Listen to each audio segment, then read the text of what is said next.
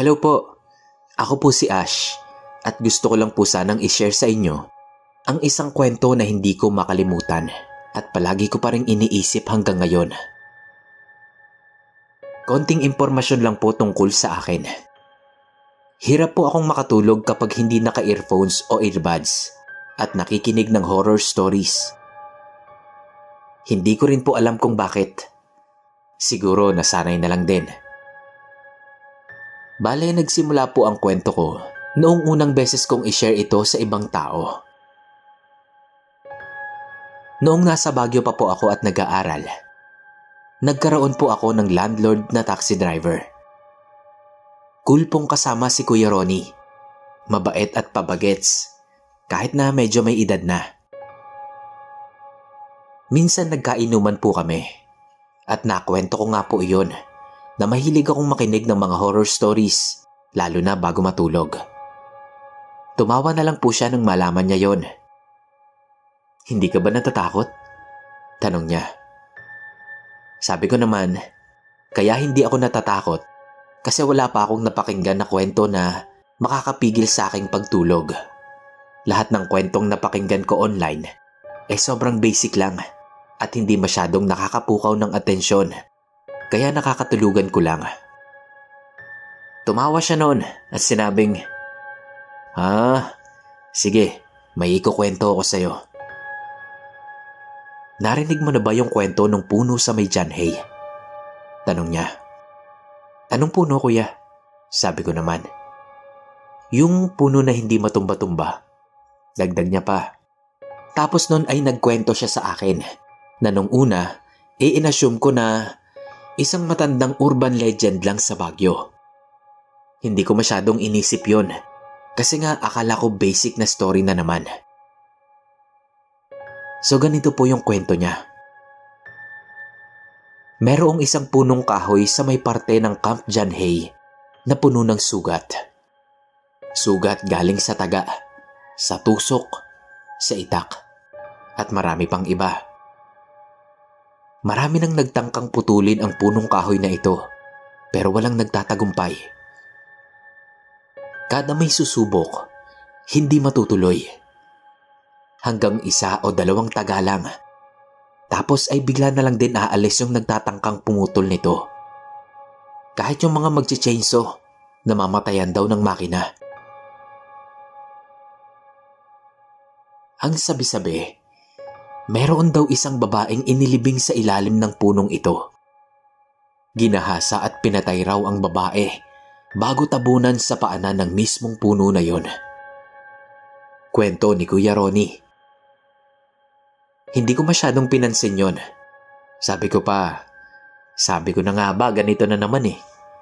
Rape slay tapos magmumulto. Typical story. Medyo dismayado pa akong nagtanong. Akala ko naman ibang kwento yan kuya. Na-excite pa ako. Normal na story lang din pala eh. Wala na bang iba? Sandali, patapusin mo muna kasi ako. Noon, ibang-iba ang Bagyo. Hindi pa ganito. Hindi pa ganito karami ang tao. Dumating kami ni ate mo dito 2003. Kagagaling ko lang noon sa Saudi at naghahanap ako ng pwedeng trabaho rito. Inalok akong mag-taxi driver. Ayos naman ang kita. Yun nga lang, kailangan kong maisaulo kaagad ang mga lugar dito sa Bagyo. Bilang bago pa lang ako sa lugar na to, minsan hindi ko alam yung lugar na sinasabi ng pasahero ko. Kaya siya na lang ang nagtuturo sa akin. Sabi ni Kuya Ronnie, sabay tagay bago ituloy ang kwento niya. Mag-aalas 6 na nun. Gagarahin na sana ako kasi yung karelyebo ko naman ang susunod na gagamit ng taxi. May mga turista akong ihinatid sa John Hay Pabalik na ako sa bahay nun nung may pumara sa akin. Inisip ko naman na kunin ko na yung pasahero kasi sayang naman kapag walang laman yung taxi. Basta malapit, okay lang. Sayang din yung kita. Mukha siyang estudyante. Mahaba ang buhok. Naka-blouse na puti, nakapalda, at puting medyas na mahaba. Tumatak sa akin yung medyas niya dahil nakita kong iisa lang yung sapatos niya. Hindi ko masyadong pinansin yon dahil nga nagmamadali na akong gumarahe. Pagkasakay niya, tinanong ko kung saan siya pupunta. Sabi niya, diretso lang.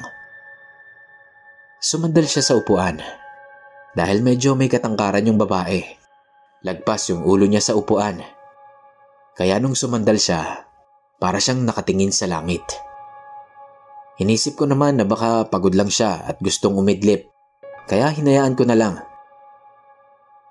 Mga ilang minuto na akong dumediretso ng medyo Napadpad na kami sa hindi ko masyadong kabisadong lugar sa John Hay.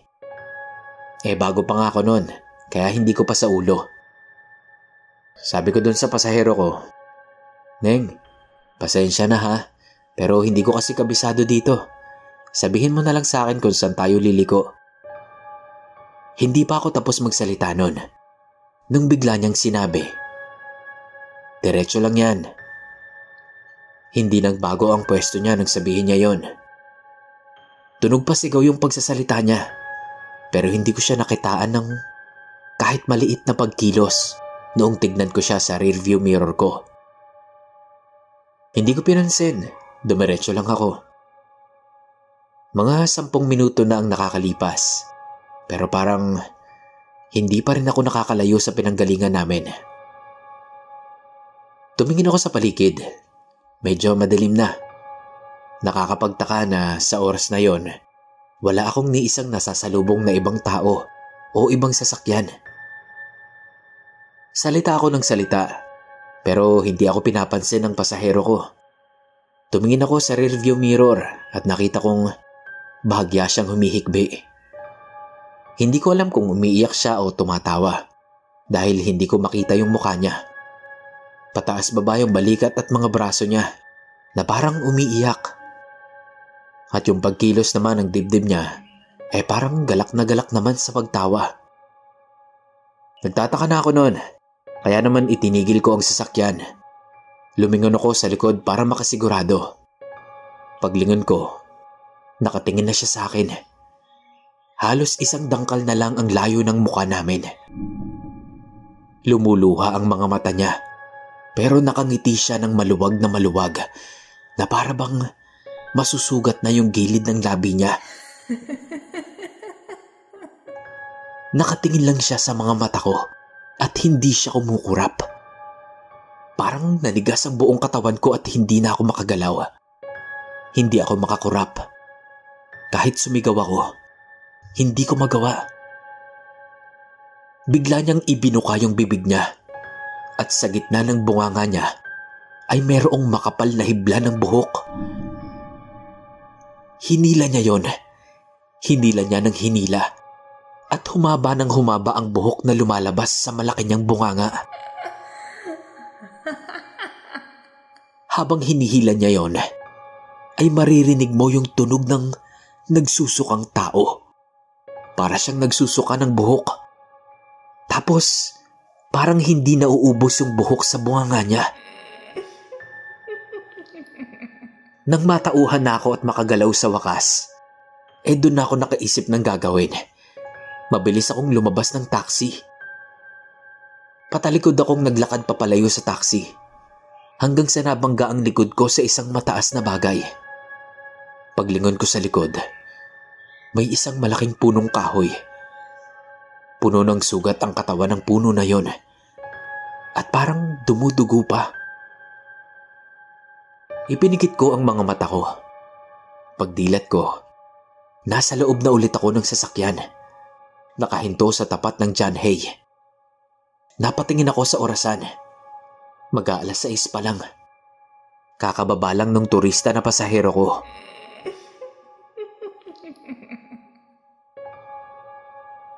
Para po akong nahimasmasan sa kwentong yon ni Kuya Ronnie. Hanggang ngayon, sobrang sariwa pa rin ang kwento niya sa utak ko.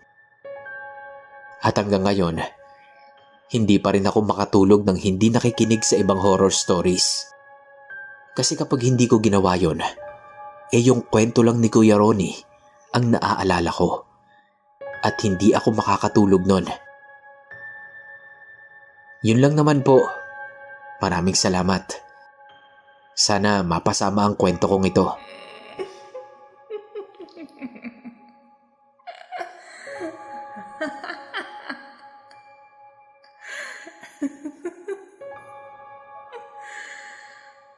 ha ha ha ha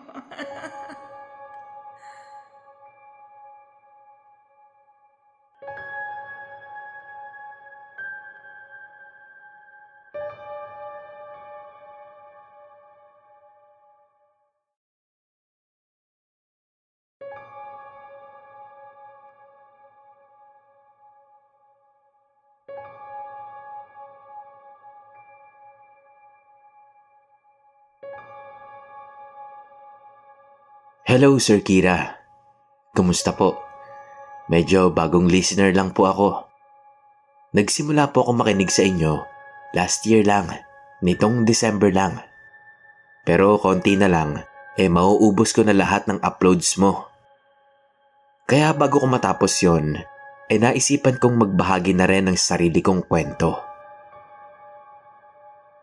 Hindi ko alam sa iba kung naniniwala sila sa sundo. Pero ako, naniniwala ako. For context, kwento lang ng magulang ko ito sa akin na nung sanggol daw ako ay muntikan na daw akong mamatay.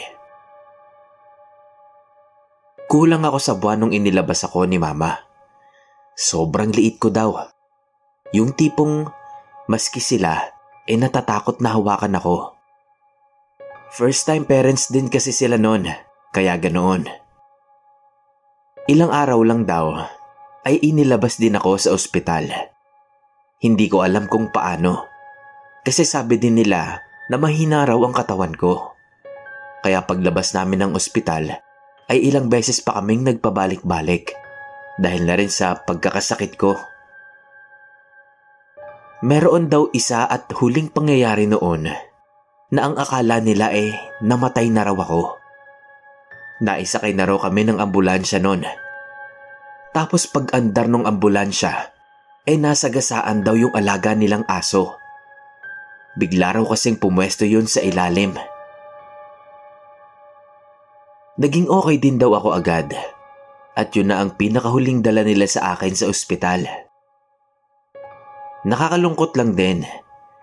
Dahil tingin daw nila ay inialay nung aso nila yung buhay nito para sa akin. Kung maaalala niyo po, alam ko meron din kayong ganitong story sa channel nyo. Yun din po talaga yung isa sa mga dahilan kung bakit gusto kong ibahagi ito. Dahil naalala ko sa kwento na yon, yung kwento sa akin ng parents ko. So eto na nga po, Boss Kira. Hindi ko alam kung bukas ba ang third eye ko o ano. Pero nakakakita po ako ng grupo ng mga nilalang na sumusundo sa mga taong malapit ng mamatay. Nagsimula ito noong grade school pa lang ako. Siguro mga grade 5 or 6. May kapitbahay kaming seaman ang asawa. Bumabayo ng barko dahil na aksidente. Naoperahan naman ito.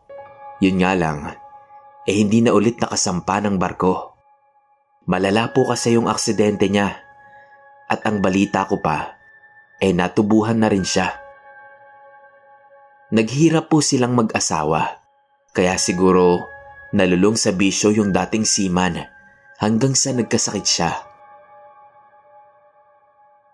Pauwi na ako galing sa eskwela nun.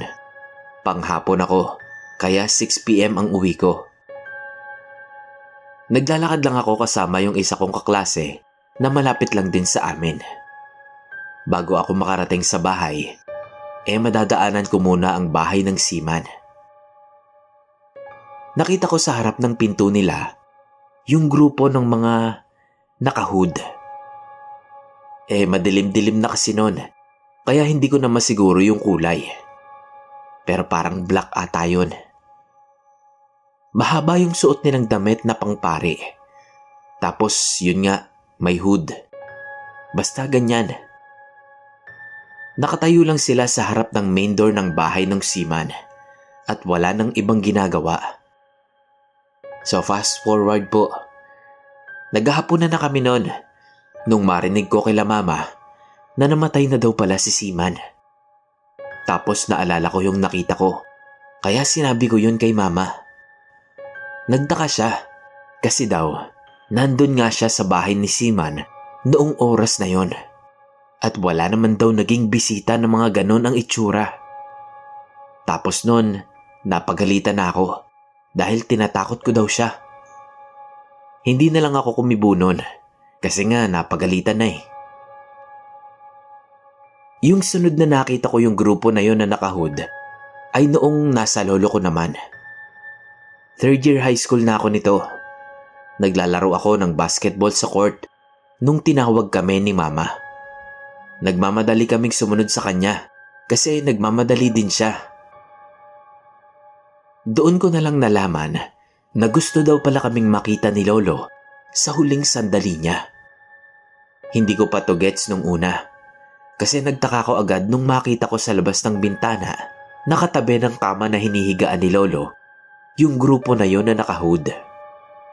Nakilala ko agad sila kasi yun na yun pa din yung suot nila noong una ko silang nakita. Pagkatapos nun, saglit lang ay nawala na si Lolo.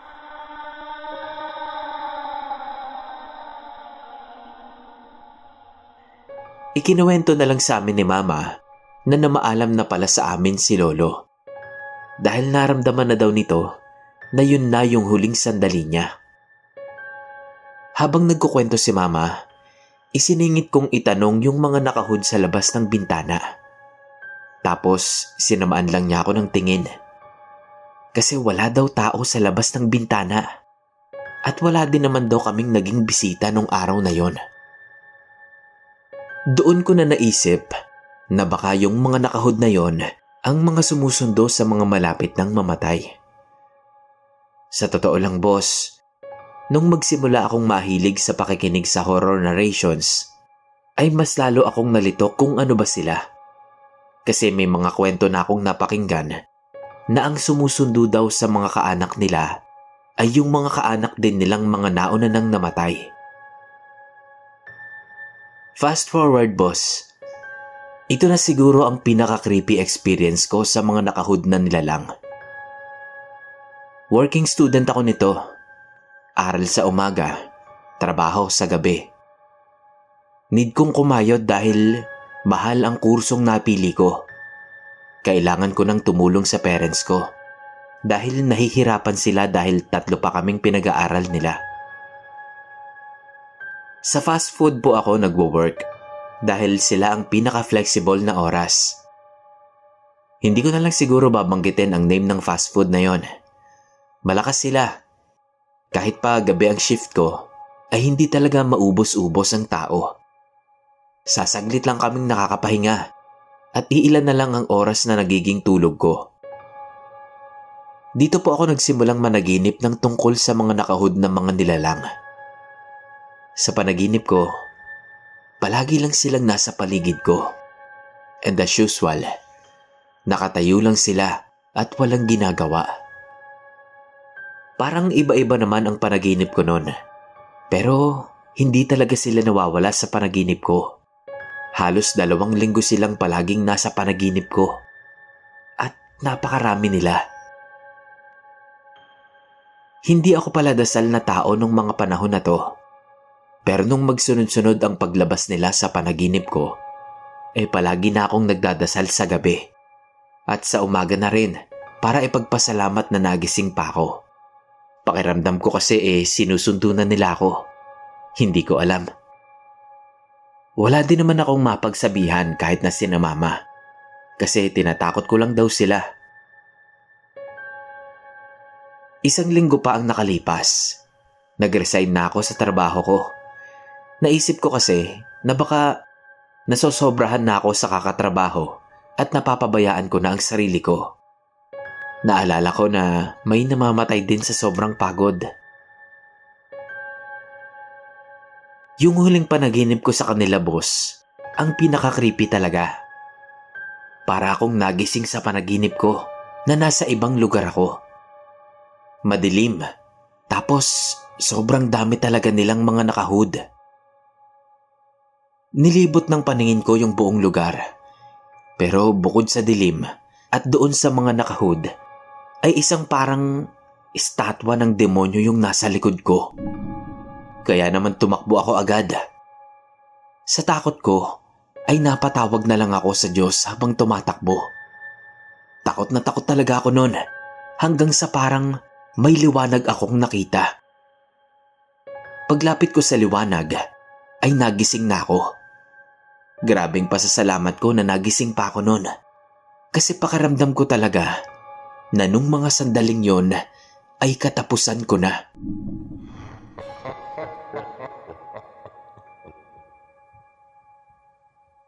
Simula noon, hindi na po ako natutulog ng hindi nagdadasal. At lalong-lalong hindi ko kinakalimutang magdasal sa umaga para ipagpasalamat ang buhay na araw-araw na ipinapahiram sa akin. Ipinagpapasalamat ko din na hindi ko na sila napapanaginipan pa. Pero may mga ilang pagkakataon pa din na nakikita ko sila. Natatakot man, eh wala din naman akong magagawa. Hanggang ngayon, kahit nasulat ko na itong kwento na to, eh hindi ko pa rin alam kung ano talaga sila. Dahil pumapasok palagi sa isip ko yung statwa na yon sa panaginip ko. Hanggang dito na lang, Boss Kira. Mag-ingat po sana tayong lahat. Maraming salamat.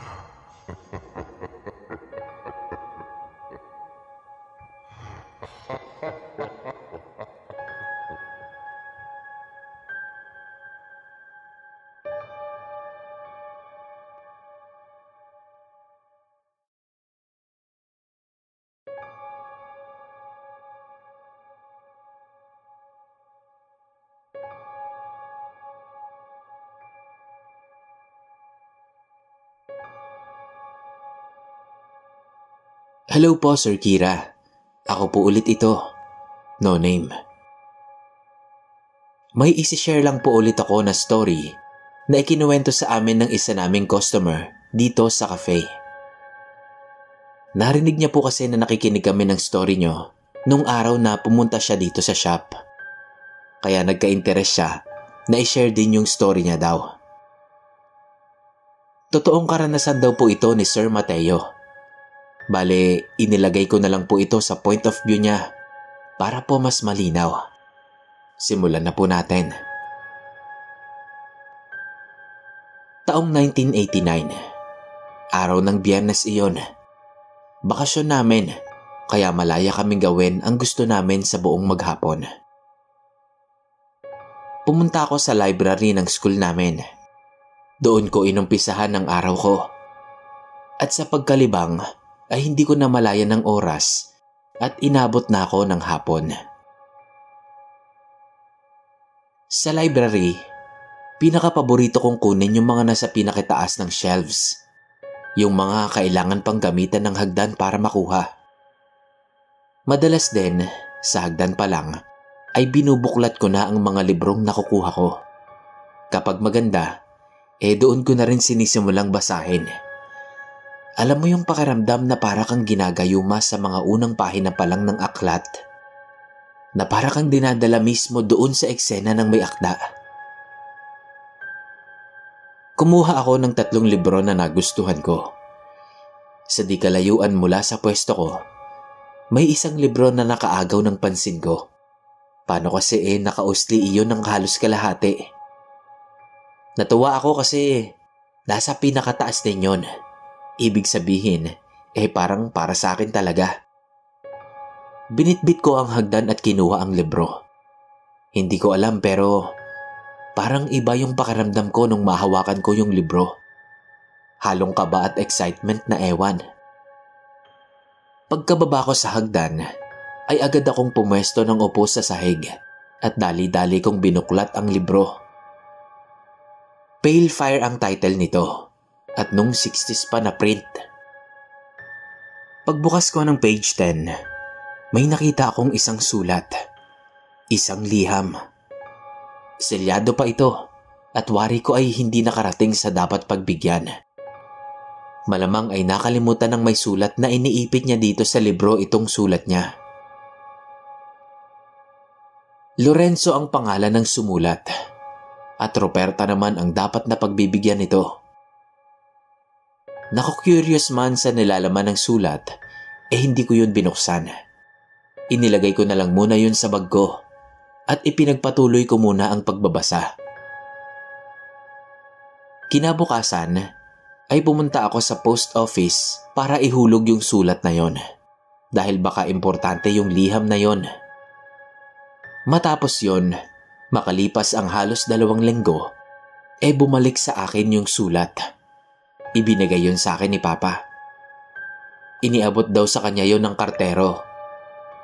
Alam nito na ako ang nagpadala noon dahil nag-iwan ako ng pangalan ko at address sa post office. Masyado na daw kasing matagal yung sulat kaya baka wala na daw yung pagpapadalhan noon. Pero hindi ako sumuko. Sinubukan ko ulit na ipadala yon. Pero makalipas lang ulit ang halos dalawang linggo, eh bumalik ulit sa akin ang liham.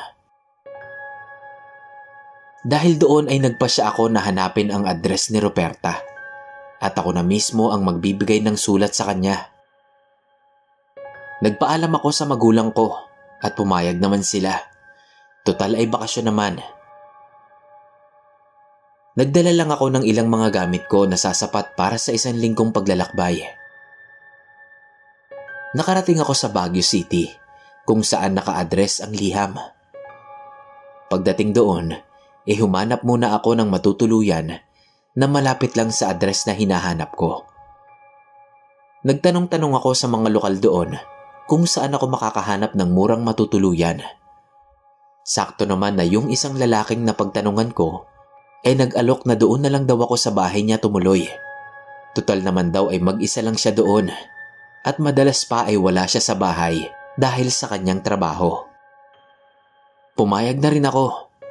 Parang tulong ko na lang din sa kanya yung ipang-uupa ko sa bahay niya. Dagdag kita ba? At ang pinakamaganda pang nangyari doon ay katapat lang ng bahay niya yung mismong address na hinahanap ko. Tumuloy na muna ako sa bahay ng lalaki upang makapagpahinga na muna. Napagod din kasi ako sa haba ng biyahe ko.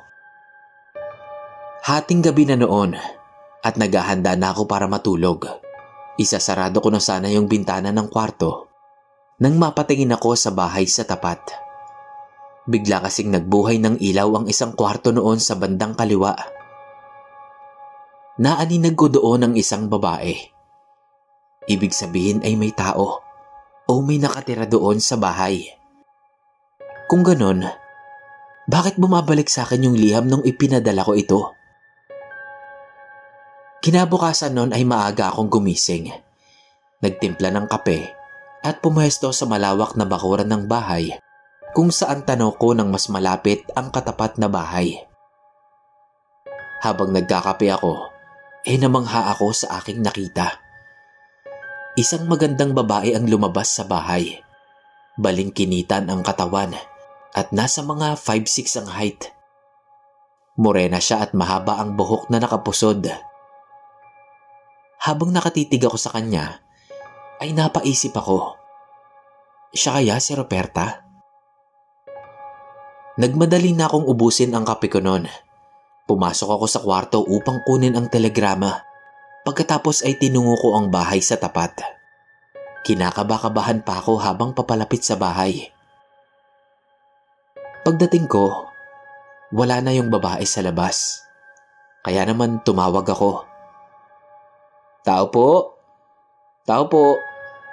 Pero walang lumabas sa bahay. Inulit ko ang pagtawag. Tao po? May liham po para kay Roberta. Galing po kay Lorenzo. Sabi ko pa sa malakas na boses. Pero wala talagang lumabas mula sa bahay na yon. Iiwan ko na lang po dito sa gate yung sulat. Aalis na po ako. Dagdag ko pa. At ganoon na nga ang ginawa ko. Naglakad-lakad na muna ako para makapamasyal. Gusto kong masulit ang isang linggong bakasyon ko doon dahil minsan lang yon nakarating ako sa Burnham Park. Napakasarap pagmasdan ng mga pine trees at iba pang mga naglalakihang puno doon. Naupo ako at sumandal sa isang puno. Nagmuni-muni. Ninanamnam ang sarap ng sariwang simoy ng hangin. Ang kapayapaan ng kapaligiran. Parang ang sarap yakapin ng lugar. Hindi pa kasi ganoon ka-congested ang Bagyo noon. Hindi katulad ngayon. Siguro dahil na rin sa pagkadala sa sarap ng pakiramdam ko noong mga sandaling iyon, ay nayakap ko ang punong sinasandalan ko. Malaki ang punong yon, kaya hindi ko ito nayakap ng buo. Sa pagyakap ko sa puno, ay may nakapa ako na kung anong nakaukit sa katawan nito. Tinignan ko iyon. At nagulat ako sa nakita ko. Nakaukit sa katawan ng puno ang pangalan ni Lorenzo at Roberta. Napatanong ako sa sarili ko. Sila kaya iyon? Nagkataon lang ba ang lahat ng mga bagay? Napabuntong hininga na lang ako dahil doon. Madilim na nang makauwi ako sa bahay na tinutuluyan ko.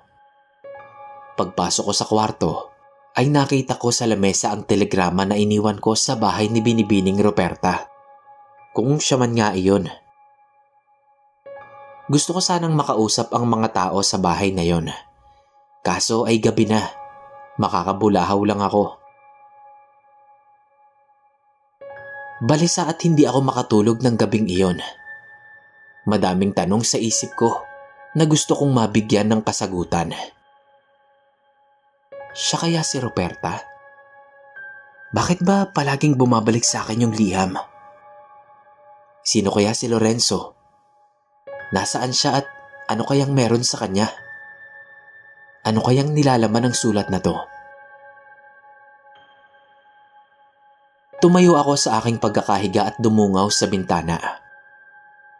Muli ay nakita ko mula roon ang babaeng nakita ko noong umaga. Lumingon siya sa akin at nagtama ang aming paningin. Nagkatitigan kami pero medyo nakaramdam ako ng takot sa tagal ng pagtitig niya sa akin. Dahil parang hindi pala ako ang tinitignan niya. Parang ang wala talaga siyang tinitingnan at parang nakatulala lang talaga siya sa kawalan. Ibinaling ko sa ibang direksyon ang tingin ko. Pero nakikita ko pa rin sa peripheral vision ko na nakatingin pa rin siya sa direksyon ko. Nakaramdam ako ng kilabot nung mga sandaling yon. Kaya naman dali-dali na akong nahiga. Nagtalokbong ng kumot at pinilit na makatulog. Halos apat na araw at gabing paulit-ulit na ganoon ang nangyayari. Aalis akong masaya, pero babalik ako na maraming katanungan. Parang ang sasabog na ang ulo ko noon sa kakaisip. Araw ng biyernes, naalimpungatan ako sa isang malakas na sigaw na narinig ko mula sa labas. May tumatawag sa ibaba. Kaya naman dali-dali akong bumaba para pagbuksan yung kumakatok. Wala ata si kuyang may-ari ng bahay.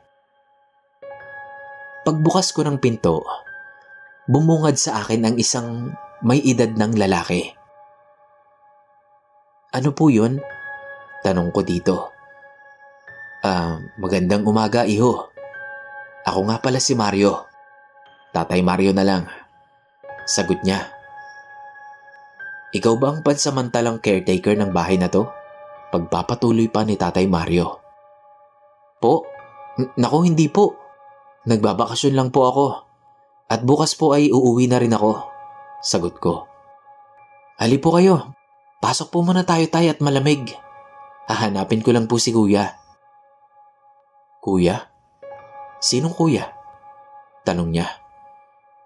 Yun pong may-ari ng bahay. Siya po yung nagpatuloy sa akin dito. Sagot ko naman. Eh, teka iho. Sinong may-ari ng bahay ba ang tinutukoy mo? Tanong ulit ni Tay Mario. Po? Eh, si kuya po. Yung lalaking nagpatuloy po sa akin dito. Siya po yung may-ari ng bahay. Bakit po? May problema po ba? Eh, iyo. Halika. Halika dito. sabi ni Tay Mario. Pagkatapos ay sabay kaming naglakad-lakad sa loob ng bahay. Sa paglalakad ay napukaw ng isang letrato ang aking pansin. Nilapitan ko iyon at bumilis ang tibok ng puso ko. Tatay Mario, ito po si Kuya oh. Siya po yung sinasabi ko sa inyo na kasama ko dito sa bahay. Siya po yung nagpatuloy sa akin dito. Sabi ko pa. Sigurado ka ba, iho? Tanong pa ni Tay Mario. Opo, sigurado po ko. Sagot ko habang pinagpapawisan pa kahit na malamig naman. Matagal na akong caretaker ng bahay na to ni Lorenzo. Nagpaalam lang ako sa ilang kaanak nila na mawawala lang ako saglit dahil kailangan kong umuwi sa amin para alagaan ang may sakit kong asawa. Paliwanag ni Tatay Mario. Pero iho, Yang tinutukoy mong tao, eh matagal nang patay. Mahigit tatlumpung taon na. Namilog ang mga mata ko noon sa sinabi ni Tay Mario. Hindi ako makapaniwala sa narinig ko. Ipipilit ko pa sana na buhay ito dahil nga kasama ko ito sa bahay. Pero naalala ko yung liham. Mabilis kong tinungo ang kwartong tinutuluyan ko upang kunin ang liham.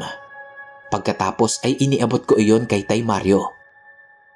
Tay Mario, ito po, baka po kilala niyo ang mga tao rito. Ito po talaga ang dahilan kung bakit ako naparito. Nakuha ko po yan sa isang libro sa library namin. Paliwanag ko sa kanya. At sinabi ko na rin na ilang beses ko na itong sinubukang ipadala pero bumabalik lang sa akin. Sabi ko pa, Sinubukan ko din po itong iabot sa babaeng nakatira dyan sa tapat na bahay. Kung saan nga po naka-address ang liham na yan. Pero bumabalik lang din po ito sa akin. Sinubukan ko pa pong kausapin yung babae. Kaso wala pong tumutugon sa tawag ko. May nakita ka kamong babae dyan sa tapat na bahay? Nako ka, iho. Alam mo bang ang sinasabi mong si Ruperta ay matagal na ring pumanaw. Isang taon mula nang namatay si Lorenzo, ay namatay na rin si Roberta. Paliwanag ni Tatay Mario. Si Lorenzo at Roberta ay magkasintahan. Subalit, lihim ang kanilang pagmamahalan dahil mortal na magkaaway ang kanilang pamilya. At tanging sa telegrama lamang sila nakakapag-usap. Ako mismo ang tagahatid ng palitan nila ng mga sulat noong mga panahon na yon. Isang araw ay lumuwas ng Maynila ang buong pamilya ni Lorenzo. Dahilan para ito ay mapalayo kay Roberta. Hindi na sila bumalik mula noon at doon na siya nagpatuloy ng pag-aaral.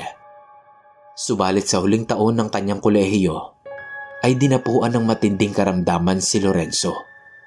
Hanggang isang araw, ay natagpuan na lang siya sa silid aklatan ng kanilang eskwelahan na wala ng buhay. Nang malaman iyon ni Roberta, ay labis itong nagalit sa kanyang magulang at pati na sa magulang ni Lorenzo.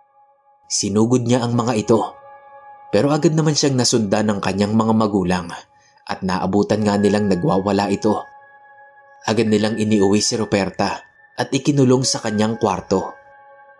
Subalit mula noong araw na yon, ay hindi na rin ito kumain o uminom man lang. Nawala sa katinuan si Roberta. Hanggang isang araw, ay natagpuan na lang itong nakabigte sa kanyang kwarto at wala ng buhay.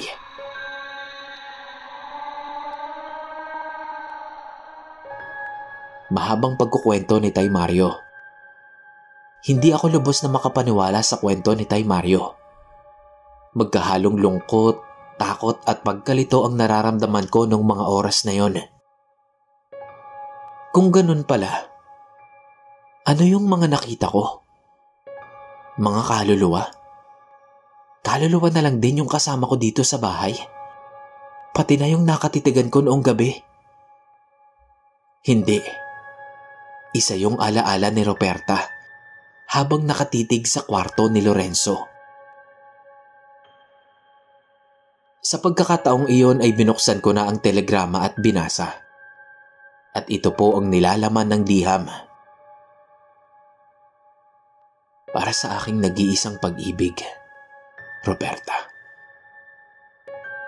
Sa araw ng aking pagtatapos, ika-anim ng hapon, ay ninanais kong ikaw ay magtungo sa ating lihim na tagpuan. Masisilayan mo ako doon na naghihintay sa iyo Iuukit ko sa isang puno ang ating pangalan at ikay aaloking makipag-isang dibdib sa akin. Gusto kong ikaw ang aking maging kabiyak at ang maging ina ng ating mga magiging anak. Bubuo tayo ng isang masayang pamilya.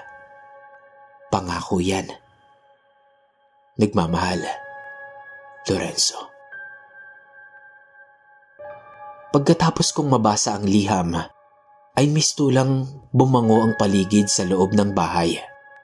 May malamig na hangin na dumaan sa aking tagiliran at parang sinasabi nitong lingunin ko ang bahay ni Roberta.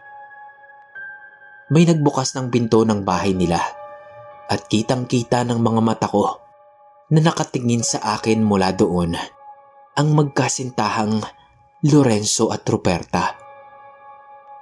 Nakangiti sila sa akin at mistulang nagpapaalam at nagpapasalamat. Kasabay nito ay ang unti-unting paglabo ng mga letra na nakasulat sa liham ni Lorenzo. Hanggang sa tuluyan na itong maging isang lumang blankong papel.